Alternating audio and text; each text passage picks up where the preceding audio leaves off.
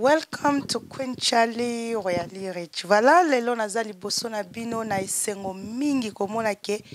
ba fanatique na nga nabungaki bino bandeko na nga tobunganaki ça fait longtemps tobandaki komonana te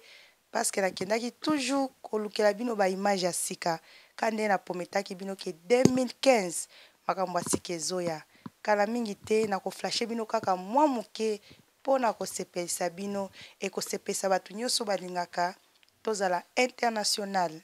Alors Charlesho azali wana mpo na bino, mais nakozwa bino minute ebele te, toza na moko na biso nabengaki ye kaza special. Mpo wana nabengaki ye special, balobi mama oyo akanisaka bana, ndeko oyo akanisaka bandeko aza toujours special. Bota lelo toza mokolo ya Christmas mais moko na biso aza special aye na mikumba na ye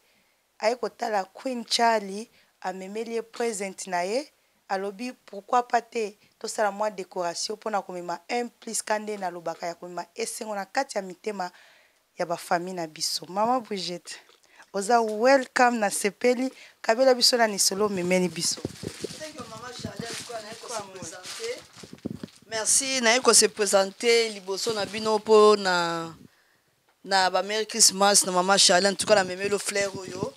euti liboso epa ya mobali na ngai moko eh, ekombolo kanda eh, oyo mpe ewuti epa mama bili ye nde azoko kosunga bato na baafrike mpe azosunga antuka oyo présente na ye mpa mama bili na biso aza asala na hospital antuka aza mama moko na passion motema monene ye nde moto atindi présente na ye antuka ngai mo mpe naye kosuete oyo antuka ba merry christmas na famille mobimba na tv oyo tozo oyo ezomema oyo ezokolanda biso mpo tomonana en tout cas digital tv en tout cas napesi ye babizu mingi en tout cas nasepe ndenge boyambi nga na kati ya plateau na ndako ya mama charlie show mpo na merry christmas eza nde nga mama daniela ekombolo eh, queens en tout cas naye kose présente bino eza nga talaka bomona misala napesi bino mama charlie apesa biso eloko nini toyei komona na pokona lelo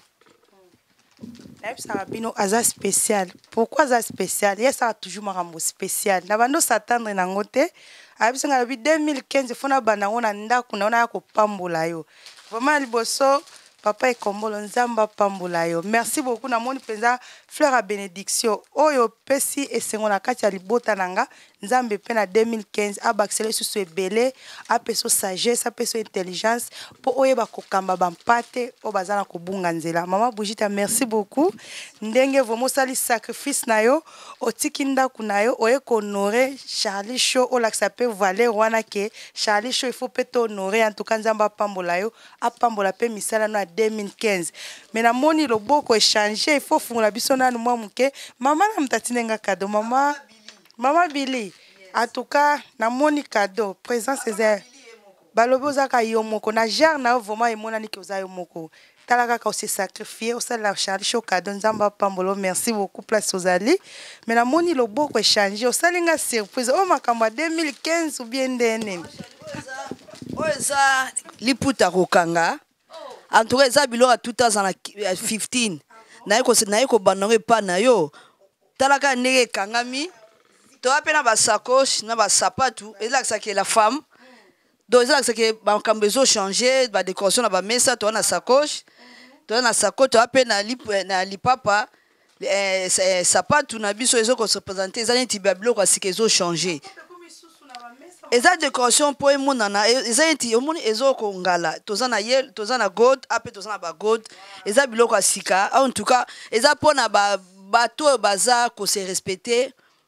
ba mikolo bato ya mbongo bato ya oh, bato ya classe niveau ya bata likolo yes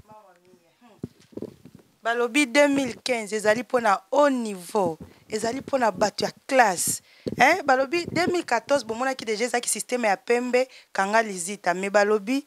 2015 maman Brigitte ya Ekombolo ye moko aza moto ya liboso abi azobanda yango na ndako ya Queen Charlie. Bomona ekangeli oyo il faut ozala kaka ye mpo osala yango eh. Ezoyebana te soki akangela yango ndenge nini. Systeme kaka liputa hein mais na kiti sikoyo. Mais kala mingi te bokomona eza ebele ba couleur sikoyo ba couleur eza ebele ou bien ezali nde nini? Wow. Oyo ezali kaka pona tout justement yaki kaka pona ko offer nga cadeau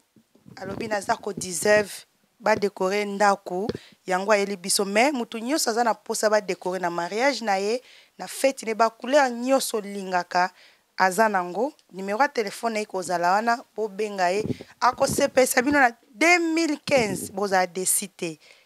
En tout cas mingi ya koloba ezali te mais nakobosana te ba oyo ya nga motema na portaka bino chaque jour nazobanda nanu na mère chef ye moko mama Jennifer mama Annie na Camden eza na ba mama mosusu ata micro ya Charlie Show ekangami faut nafungola parce que ba mama na bazosala nga na brive bomonaki ke semaine passée na nga nakanga emission mais mama Jennifer abimisaki mbongo faut atindela Julio Po totindela ye na mboka rdc mais maman alobi tofuta television maman place ozali nzambe apambola yo abakisela yo ebele ya ebele 2015 en tout cas ba porte nioso ezala polele po nayo wana libondeli ya queen charly tokobosana te papa papa kabeya na mam ndaya en tout cas ba gros bisous place bozali na na cardiff nzambe apambola bino ebele Souci bozalaki na ngo pona julio na monaki mbongo botindaki tozo tindela julio po asepela ba bonne annee ndenge bosepelisi esengo ya mwana mobali wana nzambe pe asepelisa pe mitema na bino ayoka mabondeli na bino boza na besoin meme bobondela te mais action bosalaki ya kolesa orphelin nzambe afungola ba porte place bozali bozwa ebele ya ebele pe bozala na esengo na mitema na bino. nabosana te mama mete kwini chala akendaki na mboka ya egypte me mama mete afandaki eh, oyo ngai nabendaka mpenza liboko ya libende donc soki akoti cuisine azongisi yo énergie ayaki alambeli ngai alambeli bana antuka nzambe apambola yo ebele ebele apesa toujours énergie apesa yo makasi mwana nga abengaki ka mwana 12 akolaka na ye te en tout cas nzambe apambola yo merci beaucoup vraiment nazalaki na esengo komona ke nazwaki tako relax bana bazalaki epa nga abenga bango bamama kulutu eza kaka te ndeko na yo obouti ne libumu moko nde akomi ndeko no te bandeko na nga bango oyo ma bougie ta uti na ndako na ye ko decorele nga ndako mama mete alambi ekinde eh, kwangwana te famille nyonso yango wana bolingo yango wana en tout cas nzambe apambola bino na kobosana te mare ngaluse balobi mwasi ya papa josé mfumbu pomba bagros bisou mare christmas place bozali nayebi alinga babenge na nkombo ya mfumu donc avimbaka place azala babivimba me kobosa te 2015 il faut okita ba gros bisous et puis ba merry christmas yango wana boza ebele pierre bolonge et puis nathalie bolonge na beatrice bolonge famille mobimba ba gros bisous merry christmas happy new year nabosani motu te tema boza ebele ya ebele nalingaka bino mingi e tokobosana te moko na bango avant nakanga mikro na nga nazongisi nano epa mama brigite akabela bino lisolo ya sika ma brigitte nayoki balobi mikolo systeme ekomi kaka boye eza makambo nini euh, mama charlie eza systeme tokómi nango te ma ezali toza na lisalisi na biso lisungi na biso femme bâti sa maison eza euh, eza euh, eloko te que to créer eza eloko ya kala sikoyo yango nazobimisa yango polele en public tout aza na 15 moto nyonso mama nso aza na temps ya kosambela oyo aza na temps ya intercession atiaka makambo na ye na priere epai ya nzambe na kati ya bozindo ya motema na ye aluka mama brigitte daniela ekombolo en tout cas tout ans en fifi toza na réunion le 20 janvier mama brigitte nde a cree eloko wana na kati ya bato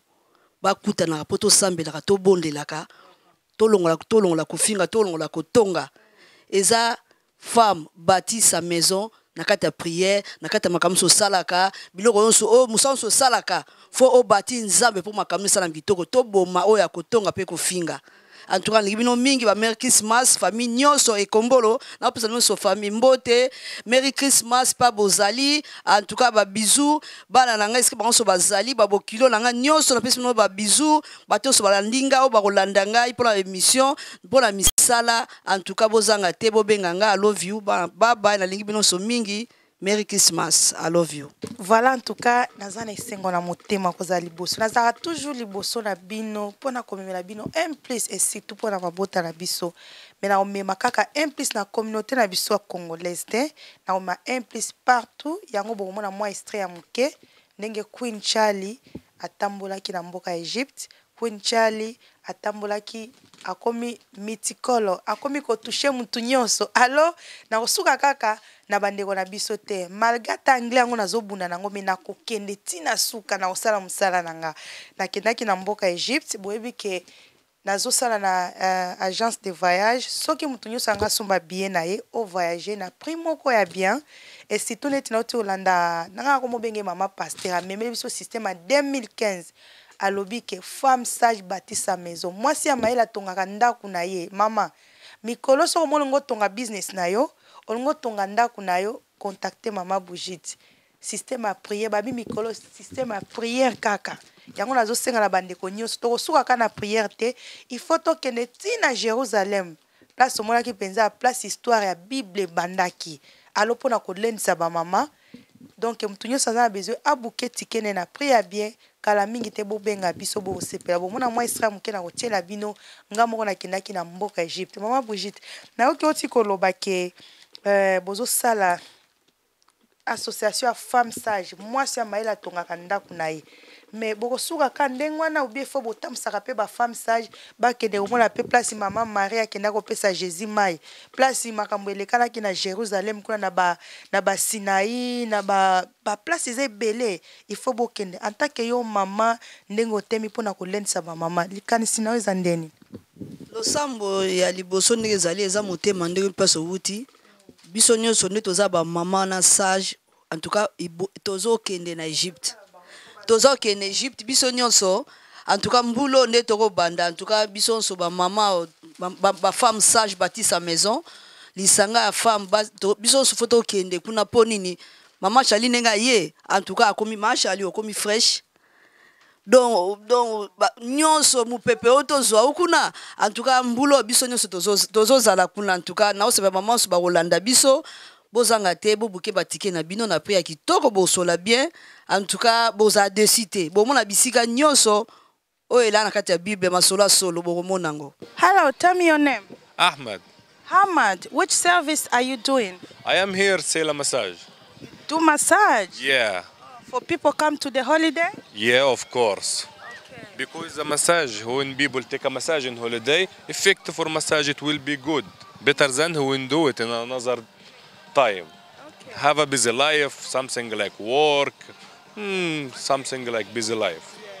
if people they come to Egypt, they want a good massage, you need to come and see him. He's gonna make arrangement. You can have good massage and you can relax. Can you tell people where they can buy their ticket if they want to come and do massage? Of course, from here and also they can buy ticket from NCL. NCL. It is very good company. Of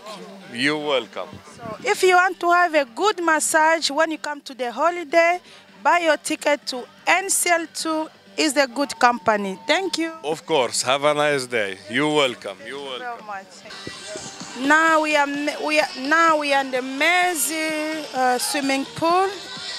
I need to invite everyone. You need to come to the holiday to have a good rest. Just book your ticket to NCL2 is the best company. When you book your ticket, you get everything inclusive and you're gonna be, you cannot be disappointed. We are in the Christmas time, have Christmas time, enjoy yourself, Happy New Year. Thank you very much and welcome to Queen Charlie Royally Rich. Today I like to show people, they like to enjoy and to show kind of service and sell too they provide for people and you cannot be disappointed. You see people, they came abroad,